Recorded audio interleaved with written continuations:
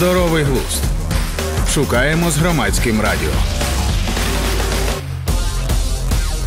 Вітаю всіх на громадському радіо. Я Тетяна Трещинська, і це подкаст Здоровий глузд.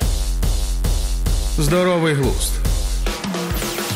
Вітаю всіх, докторка політичних наук, професорка Лідія Смола. Сьогодні моя гостя. Вітаю, вітаю, Таню. Будемо говорити про книжку зараз Саймона Шустера Шоумен, яка очевидно в українському інформпросторі уривками дещо обговорена і на деяких ютуб-каналах є про це інформація. Але переді мною зараз сидить людина, яка прочитала її, по-перше, повністю. По-друге, яка вибрала для себе можливо якісь моменти, і ви зараз про них дізнаєтеся, яких раніше не було ні опубліковано опубліковано, ні перекладено поки що, ні десь там інтерпретовано.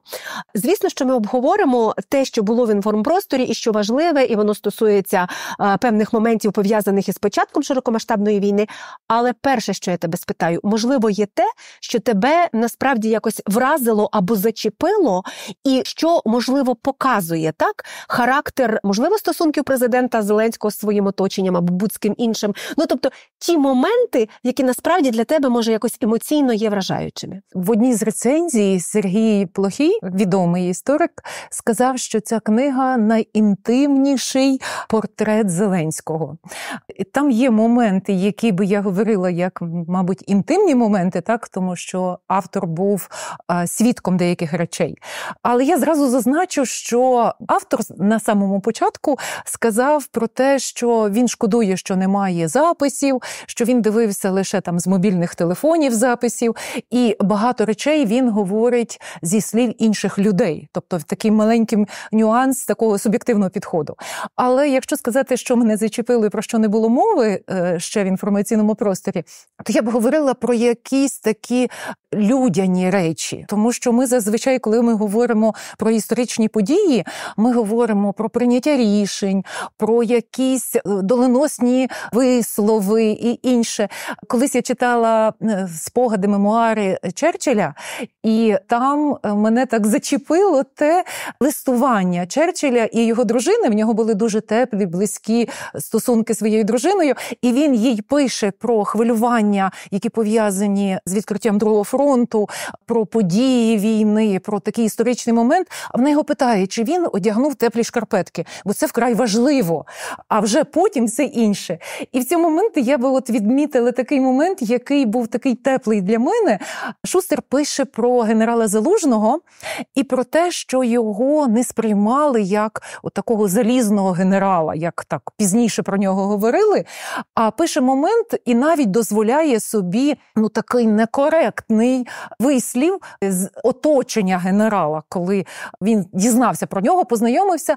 А так його оточення сказали, що коли генерал Залужний дізнався, що до нього Міністерство оборони має приїхати його дружина, то він і Шустер цитує когось зі свідків, як дурень вибіг у двір Міністерства оборони і почав зривати ромашки, щоб їй подарувати і поцілувати. І і він був вражений оцій такій любові і таких стосунках, е, такою прояву такої інтимності, любові, як він, цілуючи оці ромашки, е, дарував своїй дружині. І Шустер говорив про те, що і ця людина змогла, яка бігла і не е, вела себе такою монументом, таким машиною, такою. А ця людина так людяно і з такою любов'ю проявляла почуття до дорогої жінки. І оце такий один момент, про який не говорили говорили. І ще один момент: він не одразу, але проводить певну паралель зі стосунками Зеленського з своєю дружиною. І якщо до Зеленського видно еволюцію, він пише про еволюцію бачення Шустера Зеленського і каже, що спочатку, коли я з ним познайомився, він був таким мрійником, а він був дещо зляканим. Він каже, коли було оголошено, що він до президента, ми з ним е, спілкувалися, то Зеленський виглядав розгулю, розгубленим і зляканим. І пізніше він про нього пише як такого закаменілого, мстивого, дуже зосередженого, оцю еволюцію прослідковує. То щодо Зеленської, в нього таке неприховане співчуття.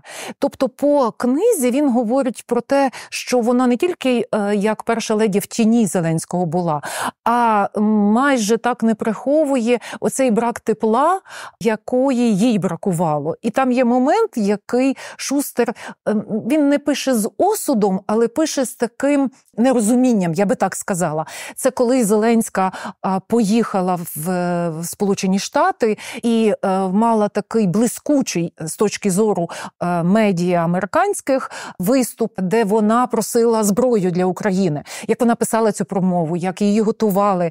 Е, вона виступала так англійською мовою, і як їй було це складно робити, і як вона докладала зусилля, як вона шустеру казала, наскільки вона вклалася в це, і е, Шустер відмічав, що люди, які її слухали, ну це такі політики, які бачили багато що.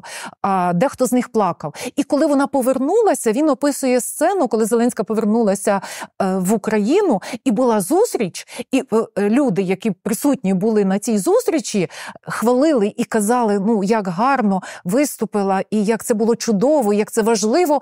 Зеленський сухо тільки сказав, що ну ми побачимо, побачимо, який буде результат, чи дадуть вони зброю. І Шустер пише, наскільки е, по Олені було видно, на якій було боляче. І оця паралель між отакими е, близькими стосунками е, з залужного і його дружиною, і оцими стосунками холодними, де є момент в книзі, де е, Шустер пише про те, що вже можна було повернутися їй назад на банкову, так би мовити, бути разом з президентом, і в умовах безпеки охорона це дозволяла, але президент не погодився на ці дії, і вона в такій розмові Олена сказала, що робота завжди була в нього на першому місці, а не сім'я і не я. І про те, що вона була сценаристкою, могла жити тим життям, яким хотіла, і те, що вона намагалася змінити систему шкільного е, харчування, і що все це було не оцінено ані суспільством ані її власним чоловіком. Тому можна говорити, що такою лінією по е, книзі проходить якесь таке співчутливе ставлення е, автора е, до першої леді. Чи є якісь моменти, які з твоєї точки зору можуть можуть стати для президента Зеленського чутливими або неприємними, про які пише Саймон Шустер? Є є моменти. Я би не сказала, що їх так багато, як говорили про те, що от воно дуже вплине на Зеленського. По перше, треба говорити, на якому моменті закінчується книга. Книга закінчується, оцей 22-й розділ, самим е, моментом звільнення Херсону і е, от подій, які відбуваються тріумфальним настроєм. таким тріумфальним наступом. Так. Є кілька моментів. Ну, наступ був складний, але настрій так, такий, такий тріумфальний настрій. І він навіть говорив після опублікування книги про те, що він був дуже подивований, що Зеленський вважав, що от от вже війна має закінчитися, і що там далі писати. На що Шустрак казав, що я бачу, що так би мовити, часу ще е, багато доведеться витратити. А момент, який можна відзначити, це і на початку книги він про це згадує в перших е, розділах, і е, на завершенні, там в розділах, коли йде про повернення політики, це про те, що оця величезна влада, яку отримав Зеленський з початком повномасштабного, з точки зору е, Шустера, є такою великою небезпекою. Чи зможе Шустер ставить таке риторичне питання? Чи зможе Зеленський добровільно відмовитися від оцієї авторитарної влади? Тому що деякі моменти, які він в спілкуванні, дають е, йому, як він пише, певний е, певну підставу для е, до хвилювання щодо того, наскільки він буде подальшому демократичним лідером. Є один момент який Шустер пише як подив. Що я відмітила в одному моменті. Він описує, що бачив книгу про Черчилля, яку Зеленський читав. Ну тобто вона лежала ця. І Шустер питає: От чи ви би хотіли, щоб про вас говорили? Бо про вас вже говорять е, часто як про українського там Черчилля. Він сказав, до нього було дуже неоднозначне ставлення, і е, я радше б хотів, щоб асоціювалися з Чапліним. І Орвелом, е, які висміювали тоталітаризм, ну тобто яких сприймали однозначно як цих позитивних е, персонажів. А стосовно Зеленського, там я би ще відмітила два таких моменти. А це моменти, про які говорить керівник наш е, воїн Прокопенко, угу. який говорить про те, що українська влада залишила азовців сам на сам з ворогом. Є момент, який Шустер пише. Це він Шустеру говорить. Так, висловлює. Так? І Шустер говорить ще про один момент, що влада не знає, ну він пише, як вони будуть реагувати на події розмінування Чангару. Тобто, що немає, що треба буде на це відповідати.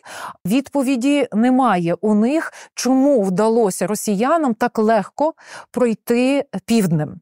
Є багато моментів в книзі, де він говорить не як очевидець, а говорить зі слів інших людей, як то Данилова, який е, Шустер пише, що Данилов йому безпосередньо сказав про те, що верхівка СБУ втекла.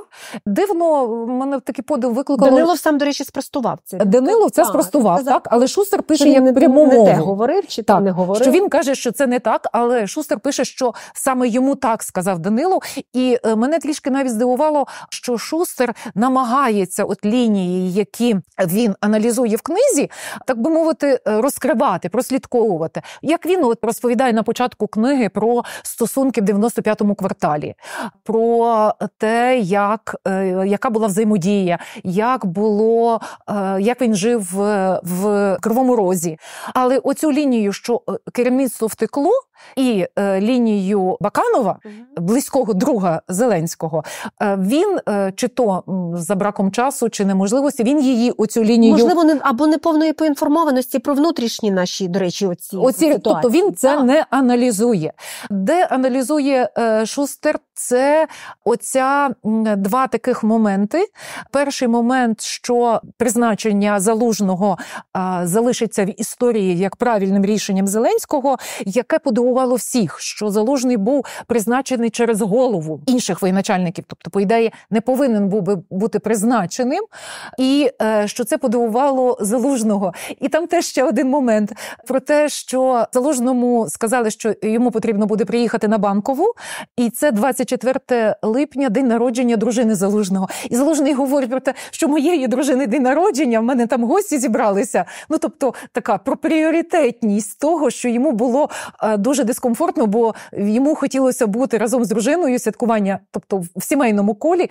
А тут стояло питання зустрічі е, президентом, з президентом щодо призначення. І є ще момент, який е, вже залужний говорить в Шустеру, і треба сказати, що таким, напевно, е, не просто позитивним, позитивною постаттю залужний описується. Ну він розповідає про те, що наскільки там є дуже гарна фраза про. Залужного.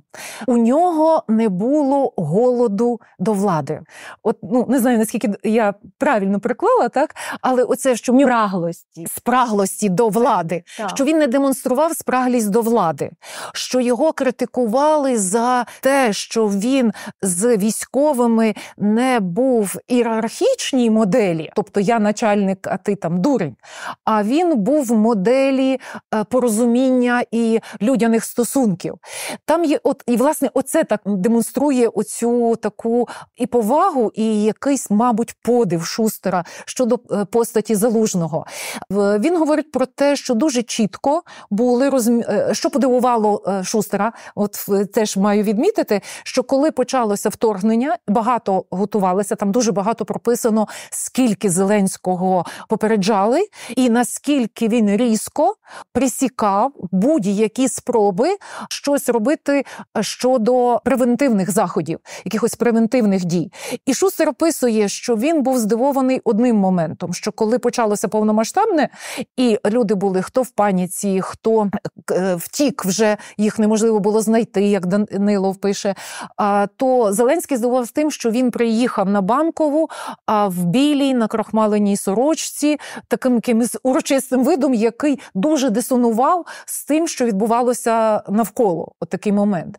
І є момент, який, власне, от відповідаючи на твоє питання, момент про те, що залужний ділиться з ним думкою, що він розумів, що напад буде неминучий, але не бачив підтримки у керівництва, і що йому доводилося у темний час доби прикидати частини, там згадують, і, і дала можливість це і військові навчання, які були напередодні повномасштабного вторгнення. І оцей момент, що готуватися до захисту країни залужному доводилося в рамках таємності.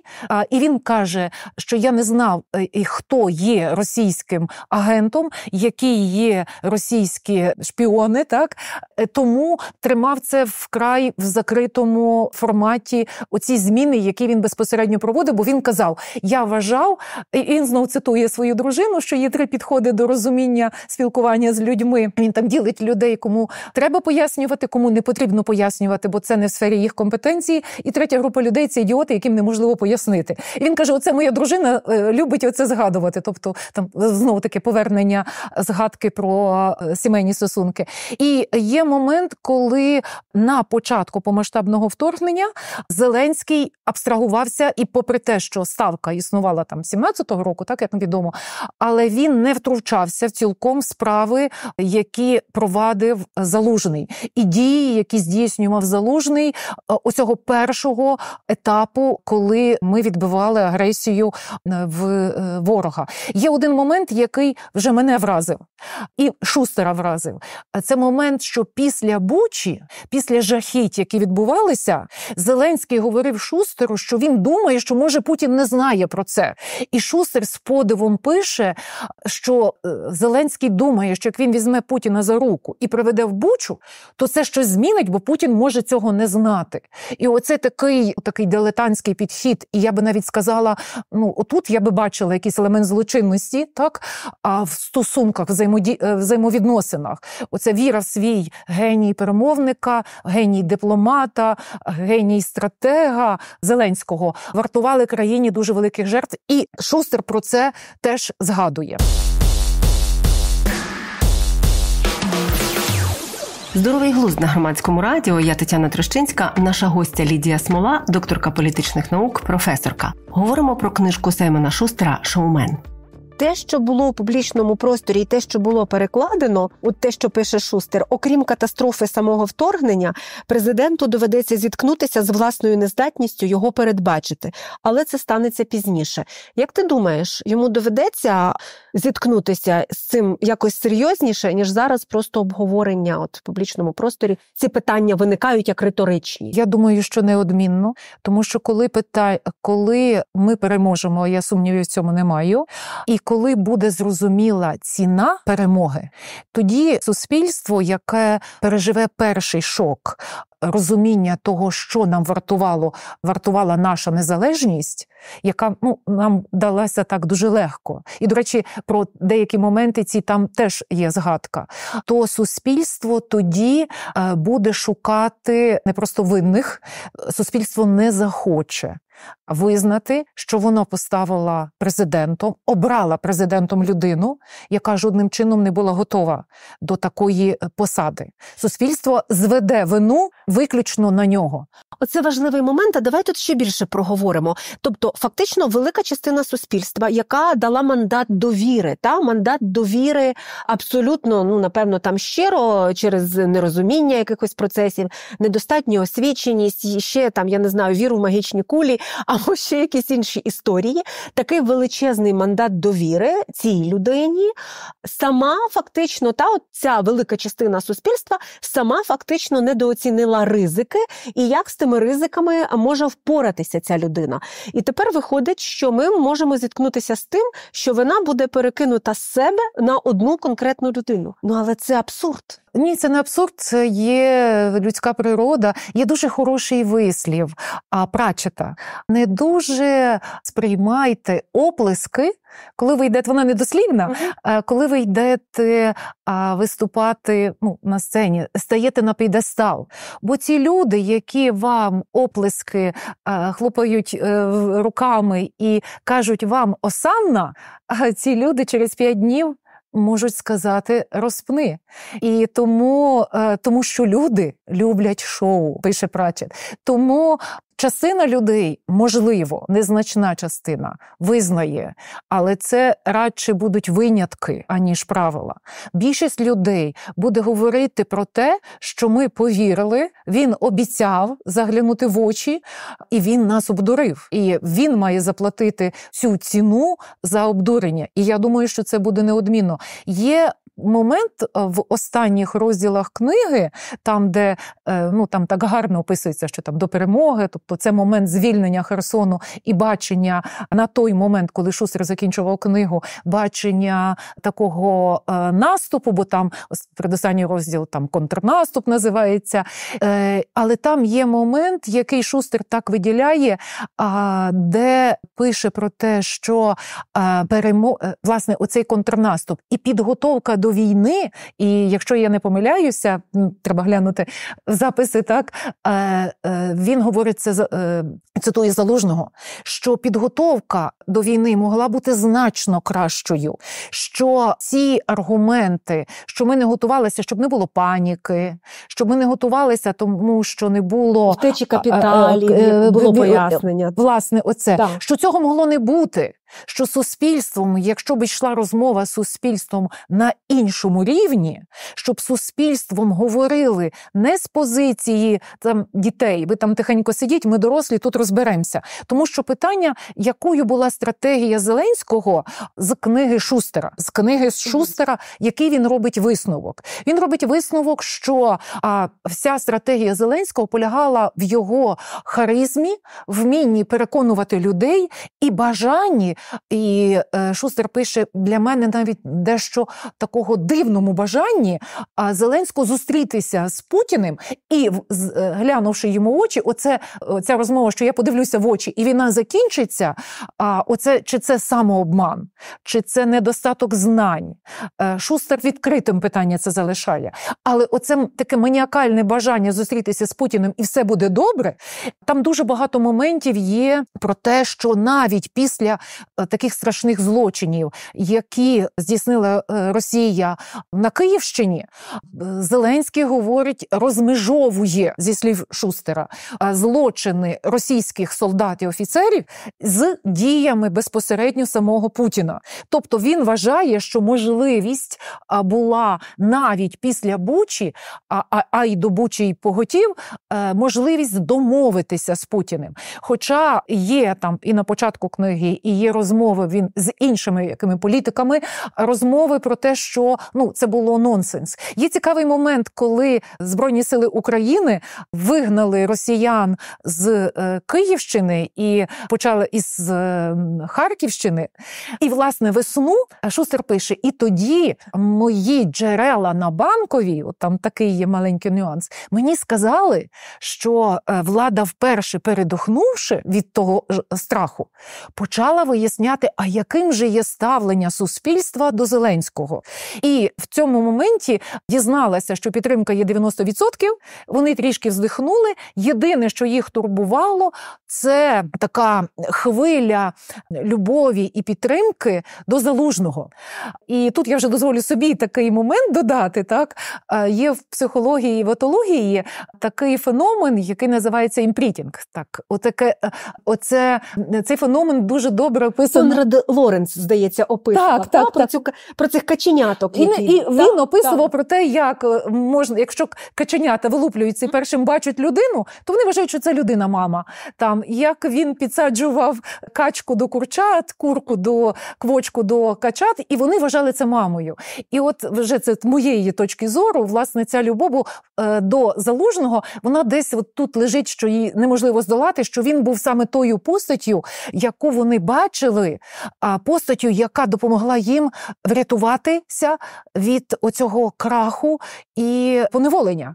І, і ніщо неможливо зробити з цим, бо вони пам'ятають його як саме ту постать. І а, Шустер, власне, це якби від себе додам. Так, Шустер не пише про а, цей феномен. Шустер пише про те, що коли відкинули ворога, і залужний став асоціюватися а, з перемогою а, збройними силами, тобто тут оцей бренд збройних сил і залужного вони поєдналися, е, тоді він вперше побачив таку дуже велику ревність і неприйняття Зеленського і його команди е, генерала Залужного.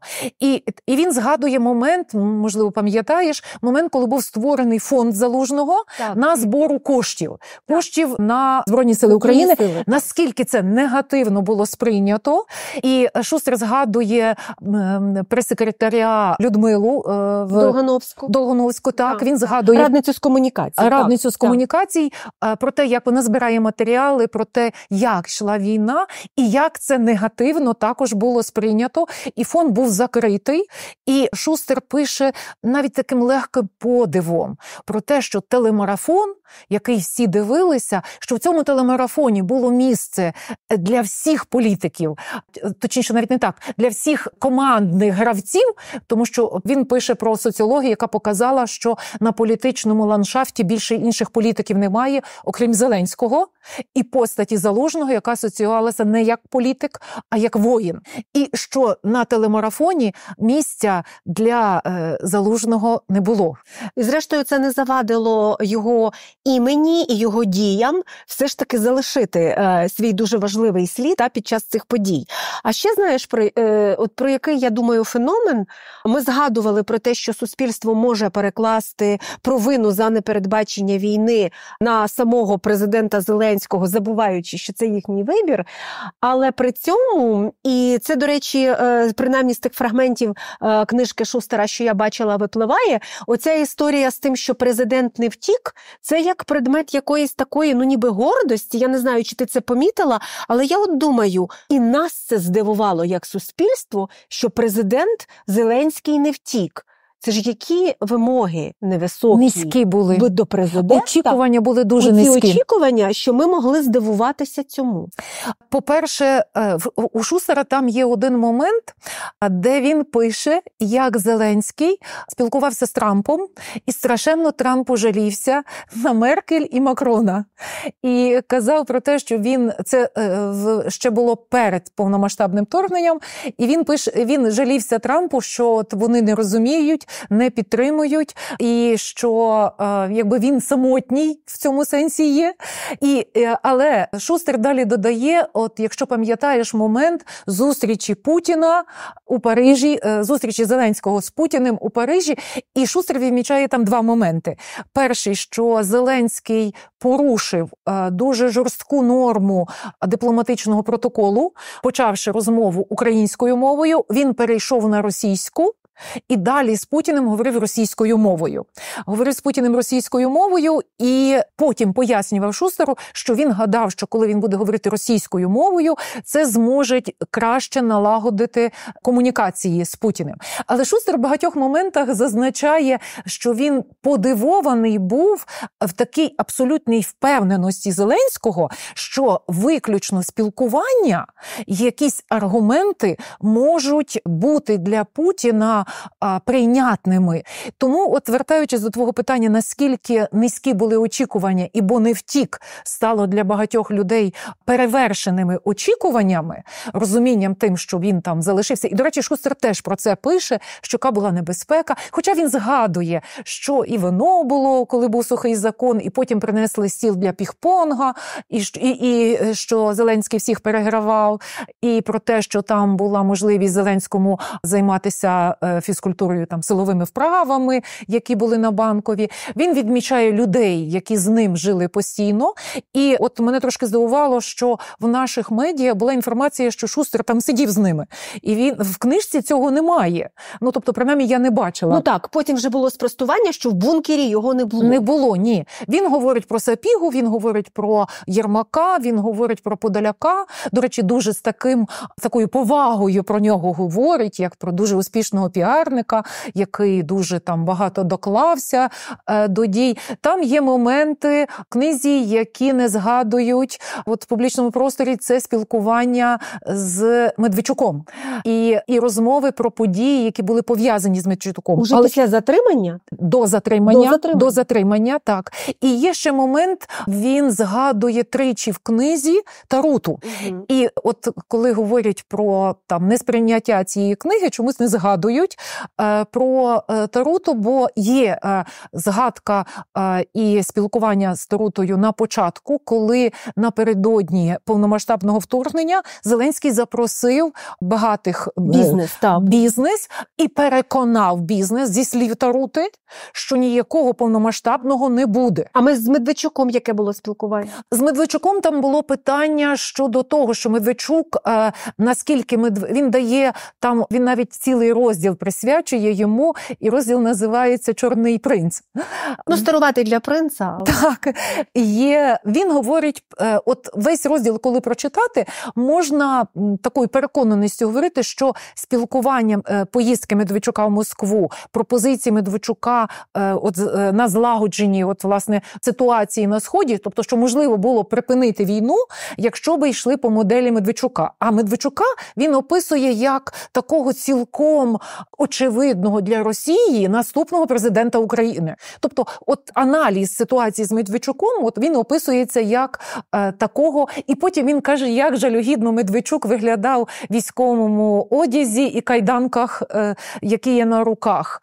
Е, при тому, що говорив ну і з браслетом на нозі, е, що він не міг залишати е, своє помешкання, і про те, що ні його дружина, ні його донька, похресниця Путіна, не залишили Медведчука, а залишилися з ним разом і якби несли оцю ношу ув'язненого. Там такий момент, який прописаний є.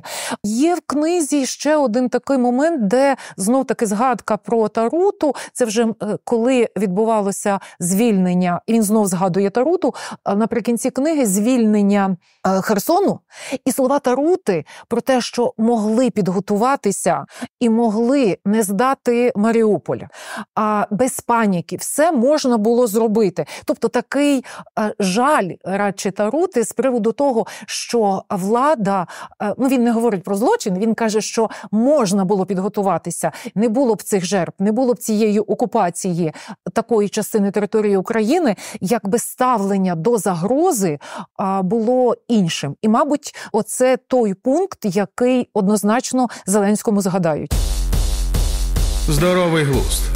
Шукаємо з громадським радіо. Здоровий глузд на громадському радіо. Я Тетяна Трощинська, наша гостя Лідія Смола, докторка політичних наук, професорка. Говоримо про книжку Саймона Шустера Шоумен. Які є згадки про Андрія Єрмака і яка можливо тональність, інтонація? Що про це пише Шустер? Спочатку він, до речі, згадує ще Богдана як першого. Він так робить такий ретроспективу про Богдана як керівника офісу президента, і е, він тоді він описує Зеленського часів е, Богдана як такого мрійника, який йому на інтерв'ю говорив, як він як він обтяг обтяжується отим всім, що є навколо. Він показував от е, обстановку, яка є на банковій, і казав, наскільки вона йому не е, не до душі, не до вподоби, і наскільки там бачаться зміни, і як е, закінчиться цей конфлікт, і і, і знов таки розмови про те, що попередня влада не хотіла його закінчити. Оце в розмовах, але така легкість і така е, якась мрійливість зі слів Шустера. Часів Єрмака він описує, коли він говорить про Єрмака, е, то він говорить, що Зеленський еволюціонував. І отут я скажу таку а в жорстку, мстиву, озлоблену е, постать істоту. Мстиву кому він не уточнює? От він він я просто цитую те, що mm-hmm. я десь отут занотувала.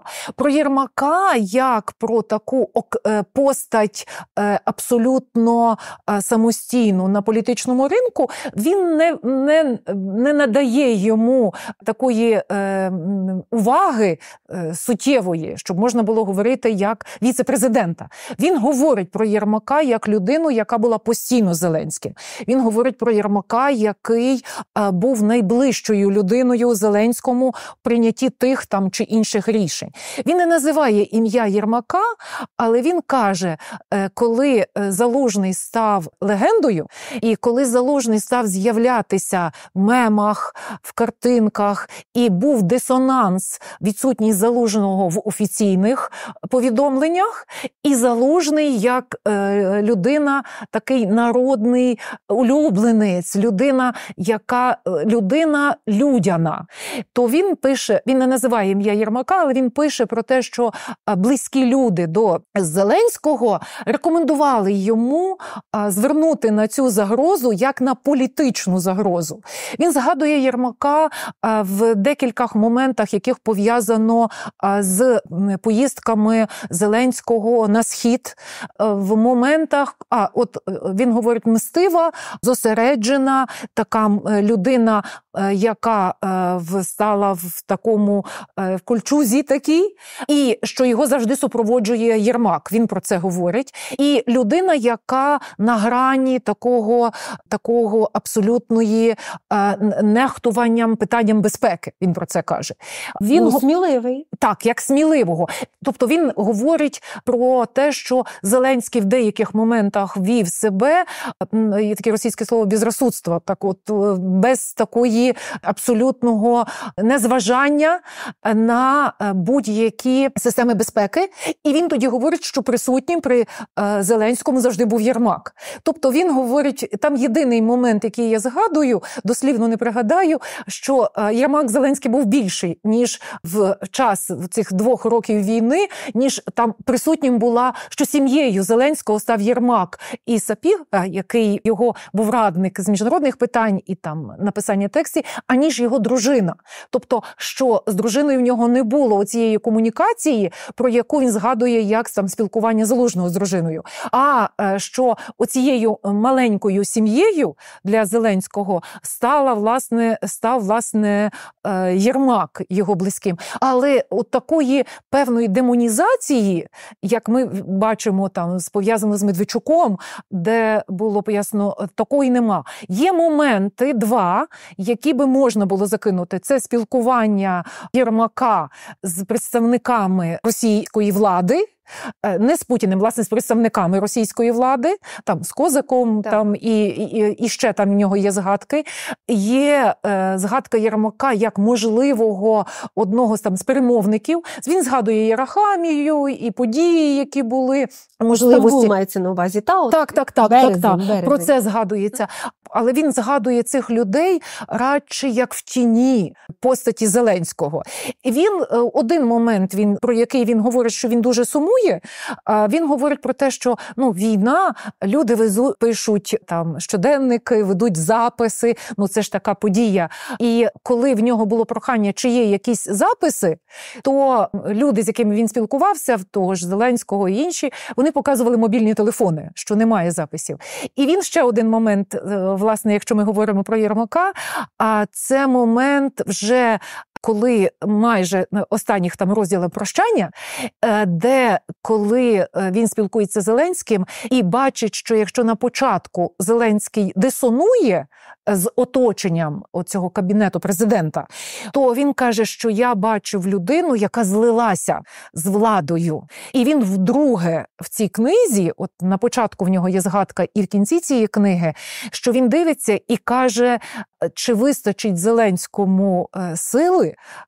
відмовитися від цієї величезної влади, яка є. Він згадує момент, коли Корбана позбавили е, громадянства, і коли він питає Зеленського, тут він говорить пряму мову. І він каже: Ну, ми даємо громадянство, забираємо громадянство. Це в нас такий процес. І він сказав, що тут оці нотки були з е, такої ну, владності, що даємо, забираємо. І оцю еволюцію він описує радше як людину, яка спочатку йшла у владу щось зруйнувати, наробила дуже багато помилок у тій владі, а в мала якусь абсурдну, бо це власне е, прослідковується по багатьох моментах книги. Абсурдну, абсурдне сприйняття, що можливо його одними його зусиллями змінити стосунки між двома країнами. А, І, хоча він згадує події 2017 року, Шустер, і вислів Путіна, що Україна братська республіка, і ми об'єднаємося ще в 17-му році згадку. Він таку цитату дає путінську. Що ця людина злилася з цією владою, і коли він прощається з вже Зеленським, так в кінці, і там в кінці він в нього, до речі, там в кінці є такі цікаві моменти щодо кожного розділу, то він ставить риторичне питання про подальшу політичну долю Зеленського, чи здатний він буде е, справитися владою, яку він має. Ну і на сам кінець, е, очевидно, запитання стосовно самого Саймона Шостера і можливості його якогось певного суб'єктивного ставлення, воно 100% є, і це цілком нормально. Безумовно, безумовно, це це суб'єктивна книжка його сприйняття. І навіть ми вже бачили, от зокрема, я бачила огляд української журналістки Ніни Кур'яти, яка працює в Лондоні, яка так само читала цю книжку, звісно, що е, в Великій Британії вона робила огляд для української правди життя, і вона там писала, що вона бачила певні моменти, які в Україні ми точно інтерпретуємо зовсім інакше, тому що, наприклад, там є згадка про те, що коли президент Зеленський був кандидатом в президенти, то у нього там були складнощі з доступом до медіа, тому що Петро Порошенко був президентом, і в нього там і п'ятий канал, і ще якісь там медіа-активи були, і там скрізь значить, Порошенко виступав. А в Зеленського були проблеми. Але ж ми чудово знаємо, як один плюс один е, величезний телеканал, величезний ресурс був лояльний е, до президента Зеленського. І, зрештою, достатньо звернення згадати так е, замість президента Порошенка в цей виборчий рік, коли було показано звернення кандидата, навіть не кандидата, а ще тоді, от просто актора Володимира Зеленського. Тобто тут є моменти, які можуть бути сприйняті як суб'єктивні, і це дуже важливо нам розуміти для всіх тих, хто багато суб'єктивних моментів. Наприклад, в нього є там в почат в розділах, там десь на початку книги, а є момент, де він пише, що Зеленський абсолютно закрив питання з Ігорем Коломойським, і в нього жодних стосунків, залежностей а, з приходом на посаду не було. А особливо коли стало питання питань до самого олігарха, можна е, вважати, що у президента Зеленського з е, олігархом Ігорем Коломойським питання стосунків було закрите. І він говорить це в той момент, коли там один плюс один з такими е, позитивними, як ми знаємо, меседжами звертався до аудиторії. Тобто, годжуся. Є справді моменти на початку, особливо на початку, коли він е, описує е, дуже такий, я би тут навіть е, з такий зробила флешбек до дуже нашумівшого серіалу Слово пацана. Де він, описуючи оце бандитське місто, воно так він так і називає цей розділ Кривий Ріг, описує от становлення Зеленського, тобто там якась така певна героїзація його. Він чомусь дуже мало говорить про дуже важливий момент, який я гадаю, що мали б написати вже наступні історики, так, біографи. Я би тут навіть звернулася до іншої книги, яка чомусь більше пішла в забуття. Це книги Руденка, Сергія Руденка, який написав, яка видана була в багатьох країнах, так в якій є, як на мене, там спроба такої об'єктивності і е, і проведена. Тобто я не роблю рекламу, але кажу, що я бачу в цій книзі багато таких цікавих моментів, які говорять, чого я не побачила у Шустера в цій книзі мовиться. Я не побачила у Шустера такого дуже важливого моменту, а саме що Зеленський, який в юному віці, тобто, ну те, що Зеленський отримав освіту. Ми знаємо, як він отримав, що він левову частку перебував в Москві, і цей 95-й квартал. До речі, Кавені, е, так, так. так. А, е, До речі, отут момент також наскільки е, Олена Зеленська він постійно так до неї апелює, писала сценарії його виступів. А як багато вона вкладала от в ці тексти, і як вона жалем говорить потім, що вона не може вже більше силу своєї посади, так першої леді, займатися улюбленою справою. Але у Шустера немає дуже важливого моменту. Е, я очікувала його прочитати, я не знайшла його. Це момент становлення Зеленського як особистості, яка становилася в середовищі російському Москви. Тобто культура політична, взаємини політичні е, він бачив радше не е, в Україні, а бачив це в Росії. Оцей кавенівський період, який був, і наскільки вплинуло на нього оце середовище російське, оце мені би хотілося прочитати. На жаль, цього не було. Здоровий глузд. Лідія Смола, докторка політичних наук, професорка у подкасті Здоровий глузд. Я Тетяна Трещинська, і це громадське радіо. Слухайте, думайте. Здоровий глузд. Подкаст в межах партнерського проєкту громадського радіо та ініціативи з інформаційної гігієни Як не стати овочем.